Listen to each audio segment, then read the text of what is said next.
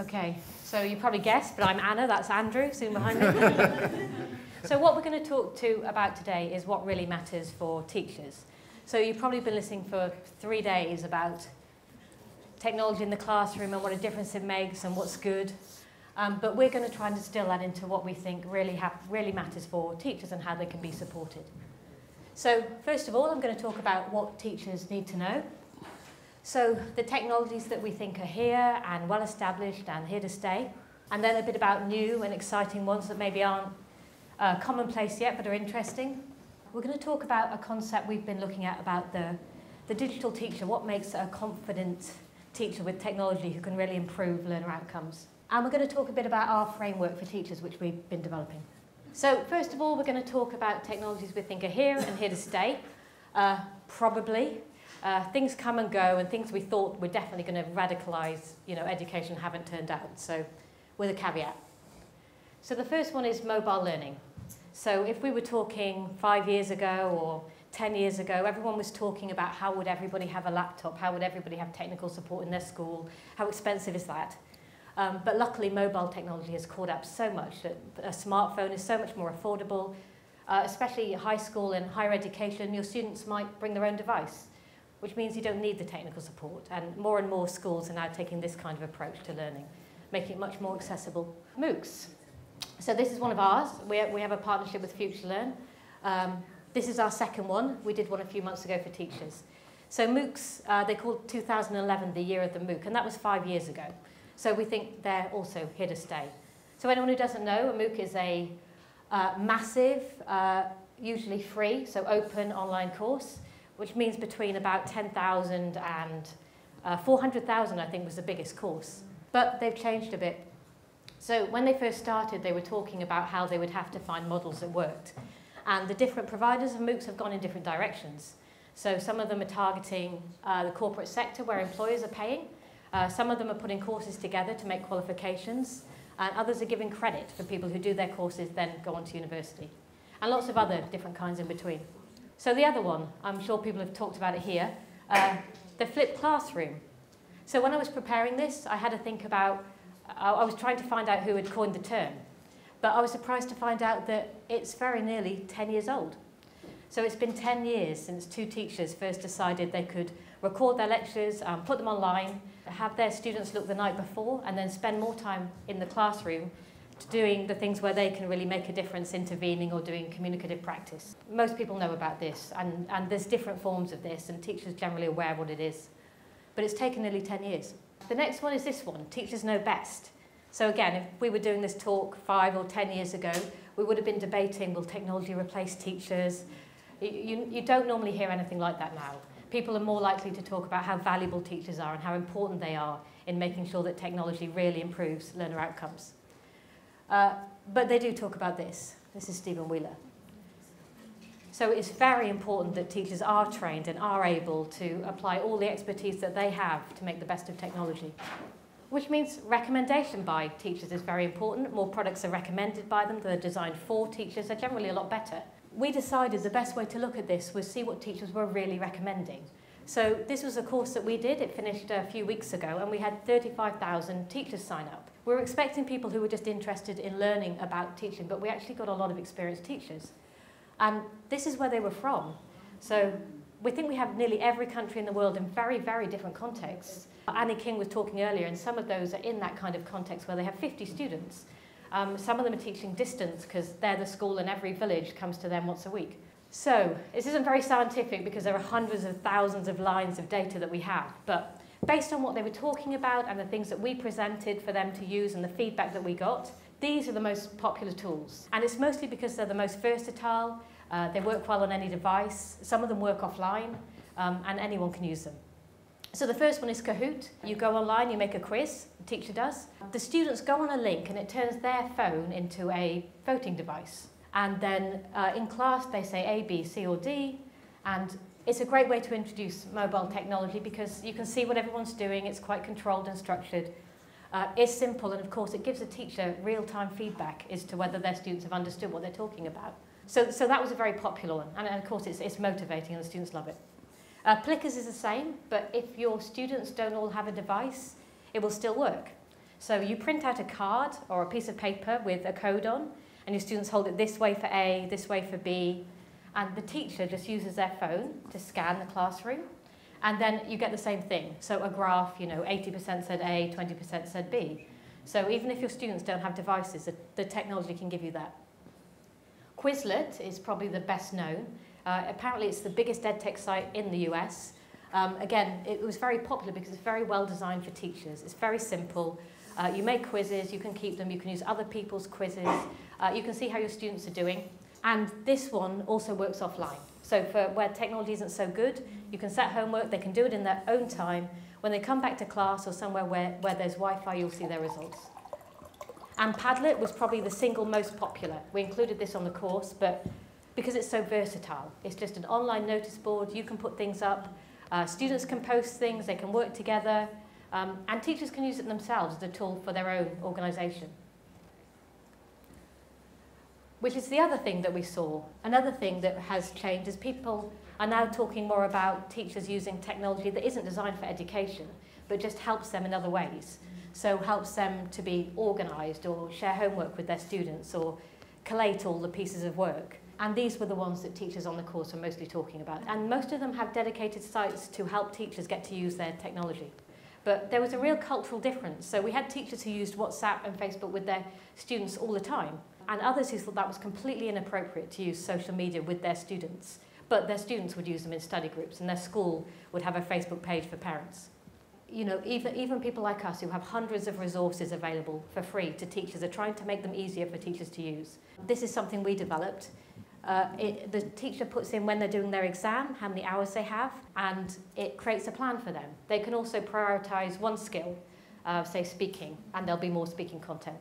And then it just puts together a plan, uh, including free resources that are available where they can add notes, and we put some rules behind it. So we think it's important they do a practice test before their exam, so everybody gets a practice test in the last week.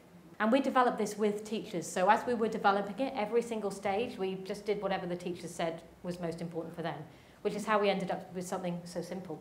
The other thing we think is here to stay uh, are adaptive technologies. So again, five years ago, we would have been saying, oh, you know, you can't learn a language purely through uh, adaptive learning. But now we understand that. But there are some parts of learning a language that are very useful. People still have to learn a lot of vocabulary. It's hard for a teacher to look at all the students in their class, especially if they're 50, and know that all these students really know this word and these ones don't. Um, but technology can really help with that. And auto-marking. So something that can give students a bit of feedback as to how they're doing, where the errors are, and help them to start to correct their own work. So this is our site, this is free to use. So we did an R adaptive technology pilot we did last year was with this company. We looked at lots of different ones, uh, but this one uh, their algorithm learns your pattern of forgetting. So if I need to be presented a new vocabulary item this often, this many times to learn it, it starts to learn that. And the obvious thing for us was preparation for IELTS. So sets of vocabulary that are useful for IELTS. And of course, here to stay, learning-oriented assessment is very important for us, and uh, most obviously in the product Empower that launched earlier this year. So those are things we think are here and here to stay. But also we think it's important that teachers know about new things that are coming, especially where they could either have a big impact or just because they're interesting and it helps people realize the value that technology can have. So stealth assessment. So this is also called invisible assessment, but I saw this term a few weeks ago and I much preferred it. So the idea that this might be replaced by this, where the system is assessing the student all the time. They don't know it, or it's putting assessments into what they're doing, and it just reports when the student is competent in this area, like a certain level of speaking skill of a certain type. And AI, there's AI in lots of things that we use every day, all of us, and of course in lots of learning products. But there are more interesting applications that people are talking about now, like the idea of AI to be your learning companion, that, that knows you and what worries you and what you find difficult learning and what your goals are, and communicates with you or your teacher or your parent uh, in, a, in a natural way uh, that makes sense to the learner. And the idea of perhaps that the learning companion is a lifelong thing, not just something that helps motivate you to a particular goal. And uh, I don't know if they're going to look like robots, but I hope so. And of course, uh, augmented reality, that's Pokemon Go, which I don't think I probably need to tell you about on the right. The idea that you can look through your phone or another lens and see uh, your context where you are and a layer of learning or a layer of translation or whatever it is appears in the thing that you're actually looking at is perfect contextualized learning And when you come back to learn it later, it can put it in the same context. So you've learnt the word chair as it is in your kitchen, that's where you need to know it, that's where you see it again. And of course, virtual reality, if we were talking 10 years ago, it would just be video games and they made you feel a bit sick. But now it's a lot more accessible and really clever innovations like this cardboard. Um, I've got one if you want to see it after. Um, that have made it accessible to classrooms. So, of course, your teachers need a phone, but this is a allows the teacher to go on a vir virtual field trip with their students. So the students put their phone in the cardboard. It's a 360 video, so if you move around, you see different parts of the scene. The cardboard just puts a divider in the middle and makes the experience a bit better. And uh, Google have provided through a program called Pioneers guides for teachers um, for them to use in the classroom. And they can control what you're looking at. So you can take your students on a field trip to a museum, or if they were learning English, it might just be a field trip to a supermarket, somewhere where it's more authentic. And, and yeah, they, it's much more immersive and they're going places virtually that they could never do not in a normal classroom. But you also hear this a lot. Um, this was uh, The Economist interviewing people at the World Economic Forum earlier this year. But the, but the headline is one that we see a lot. You know, it should be making a massive difference. There's such potential. And as it's getting easier and less expensive, you know, why isn't technology making more of a difference? But the thing is that it's the teachers, uh, which is why that's what we're focusing on. That, it's not the technology, it's their teaching practice and them learning how to really make best use of it to change the outcomes for their students. Which is why we started talking about the digital teacher and what that really means. Because uh, it's quite hard to define, but it's certainly not learning one tool or a set of tools or one technology. It's being informed, things change all the time, new things come. Teachers need to be able to keep up with things and have ways of evaluating what might be useful for them and make a difference. They need to be trusted. Again, Annie King was talking about this, but they need to convince their school owner, uh, parents, their colleagues, their students how important it is. Uh, they need to be trained, and you know, one thing we've learned now is it's not an hour's training on a Saturday morning. It's ongoing training, support, uh, chances to reflect, and of course supported. And it's about skills and competencies. It's not about learning this tool and then just doing what you did before in a different tool hopefully leading to a teacher who's confident and can make good choices that really make a difference to the students in their class. To recap, this is what we think is here, uh, that it's important for teachers to know about.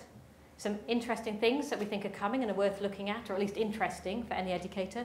And this idea of what makes a, a digital teacher, what really makes a difference.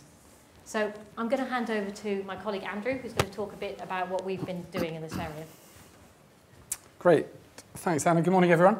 So uh, what Anna's been outlining is really exciting in terms of digital trends and digital tools, but it can also be quite daunting for people, particularly when there are headlines like these appearing on an almost weekly basis.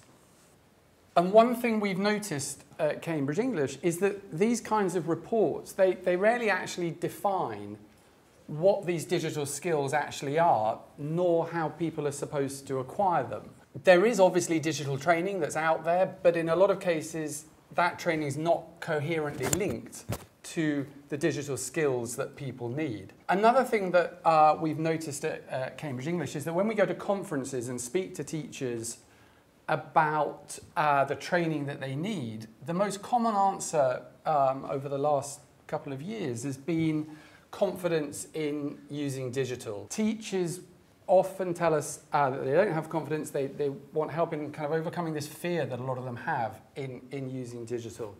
A lot of them say they feel that, that um, things are moving very quickly and the kinds of things that Anna was talking about, they, they just don't have the confidence in the time to keep up with these digital trends. The challenge really is how do we help teachers use digital to enhance teaching and learning. And what I want to tell you about is some of the things that we're doing in Cambridge to, to help address that. Hopefully you've heard of the Cambridge English Teaching Framework. If you were here on Wednesday at Silvana's talk, she mentioned it then. What it does is define effective teaching broadly around three areas. What teachers need to know, what they should be able to do to put that knowledge into practice, and the resources and tools that they use. Well, working with ELT JAM, we've taken uh, our teaching framework further to define the additional digital skills that teachers need if they're going to succeed and prosper in the kind of environments and contexts where digital resources are becoming increasingly commonplace. So what we've developed is a digital framework for teachers. And this framework, it doesn't replace the teaching framework because obviously teaching is, is much more than just using technology, but it, uh, it enhances it and uh, hopefully adds value to the teaching that, uh, that teachers are already doing. So what I want to tell you about is how it's structured. It's organised according to six categories the wider digital world, the digital language teaching context, professional development, designing learning, delivering learning, and evaluating learning. And then each of those categories is broken down into a series of components. And there are 25 components in the framework uh, as a whole. These are five of the components and they come from one of the six categories. They're all from the same category. Uh, within each of the components, we've then um, created something that we've called key concepts, which takes each component and we've defined within that component what are the things that teachers need to know about. So within communication and interaction, the key concepts that we've defined are forums, blogs, wikis, polls, and surveys. So within the framework, uh, it explains a little bit more about each of those.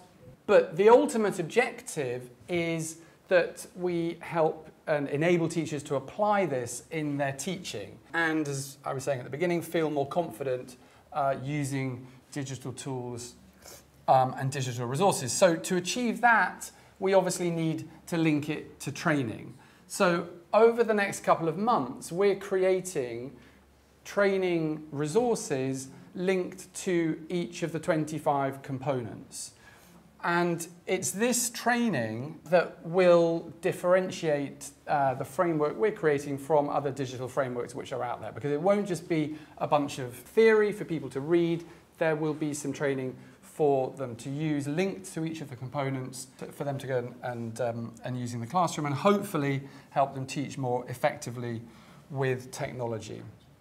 So as I say, we're going to be creating training for each of the 25 components. When we've done that, we're then going to be adding training from other training providers. So there isn't just a, a single pathway through this from, from Cambridge training. There'll be training there from other people. So within the uh, component of communication and interaction that we were just looking at, you might expect to find training on things like uh, wikis, social media, social tools, and so on.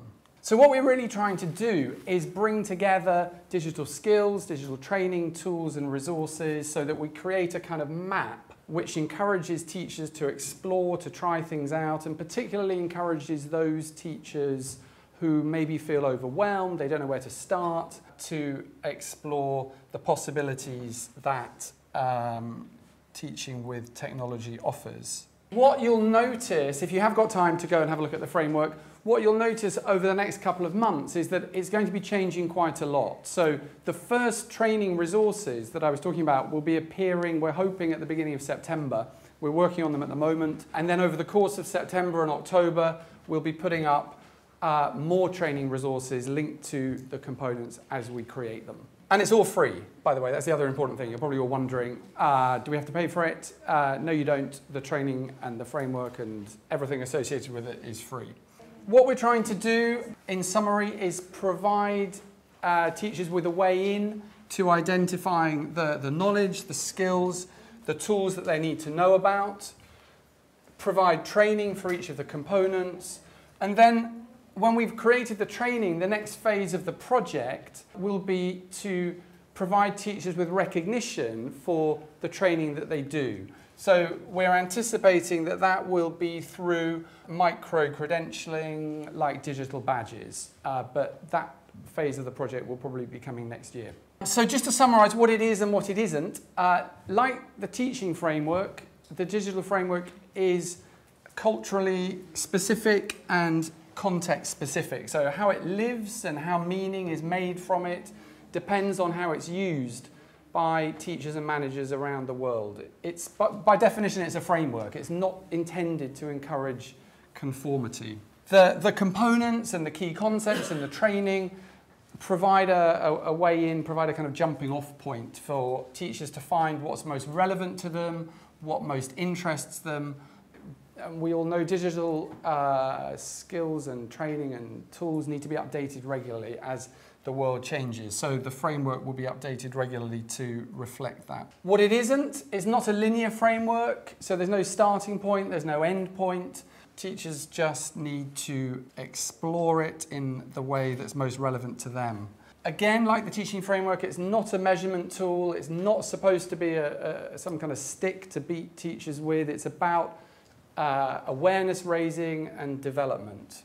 And finally, it's not just for English language teaching, but it's uh, perfectly relevant for language teachers generally. If you just remember one thing, it would be great if you remember this. This quote really sums up what we think, uh, which is that pedagogy is central to all of this. And the digital framework that we're creating is central to what we mean by this idea of a digital teacher as we start to develop that concept. Next steps, go to teachwithdigital.org, have a look at the framework. Uh, as the training goes up, there'll be a feedback uh, mechanism for you to tell us what you think of the training.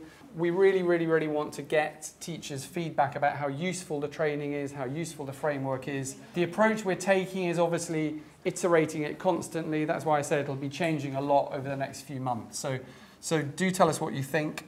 And we have a site, Cambridge Beta site, where you can go and see the latest developments, latest digital developments from Cambridge English, and again, tell us what you think about those. There's a lot of things there now, but what isn't there at the moment is, is the training uh, that's connected with it. Okay, and I, I know from uh, Cambridge Teacher that there's like an administrative person and then she or he can put the teachers. Is it going to be the same sort of framework? Um, maybe later. At the moment, the model is that it's free and it's it's for individual teachers. There may be a model coming later that's more of an institutional one, but at, at the moment, that's not the case. Great. Okay. Thank you very much. Well, thanks very much. Thank